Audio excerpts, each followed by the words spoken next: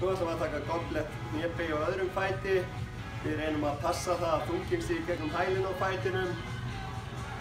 Beigjum aftara nýja vel til að komast vel niður. Pressum upp.